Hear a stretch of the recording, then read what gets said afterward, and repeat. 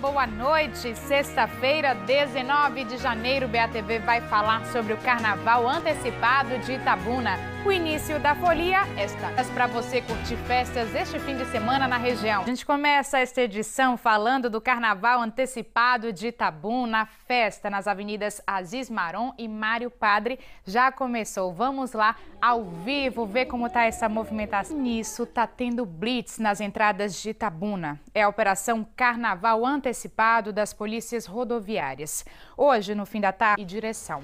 A operação vai até domingo. E durante o carnaval não dá para descuidar da saúde, né? Um estande está chamando a atenção no circuito e é bom dar uma passadinha por lá.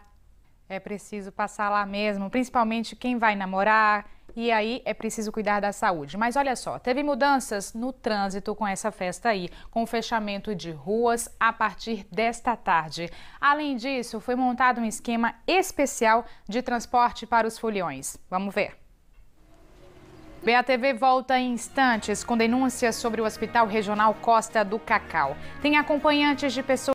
Acompanhantes de pacientes estão reclamando da falta de estrutura no Hospital Regional Costa do Cacau. Uma telespectadora mandou para a gente fotos que mostram que eles não têm sequer um lugar para sentar. Para dormir, então, o jeito está sendo improvisar. Nossa produção procurou a direção do hospital, que fica em Ilhéus, mas até agora não recebeu um retorno sobre esse problema. E moradores de Ilhéus e funcionários do Hospital Luiz Viana Filho fizeram um protesto hoje lá na Praia do Cristo.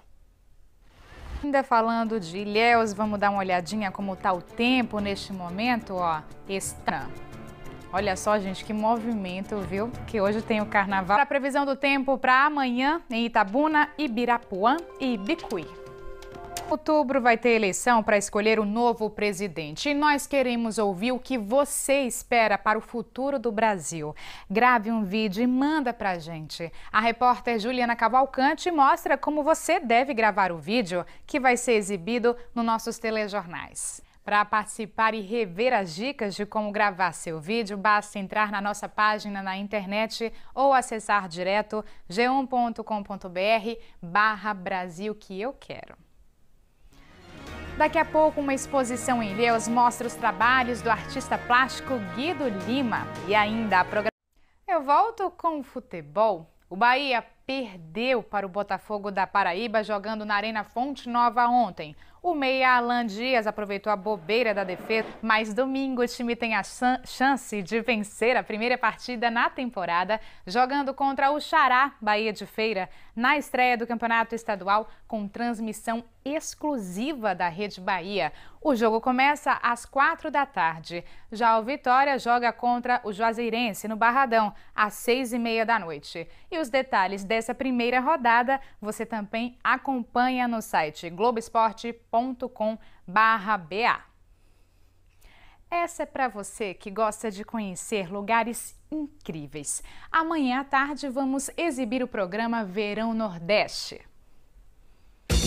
Nordeste. E se você está em Ilhéus e quer uma boa opção cultural neste fim de semana, que tal visitar a exposição do artista plástico Guido Lima, dada durante toda a semana?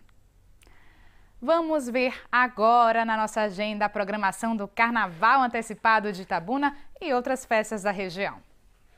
Ficando por aqui, amanhã tem mais notícias regionais no Bahia meio-dia. Eu te encontro lá. Uma boa noite para você.